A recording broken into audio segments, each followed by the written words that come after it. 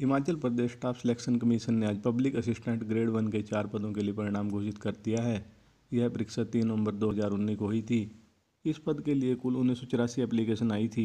Screening test के लिए सात सौ चालीस कैंडिडेट प्रेजेंट थे। वहीं सात सौ चौंसठ कैंडिडेट अबसेंट रहे थे।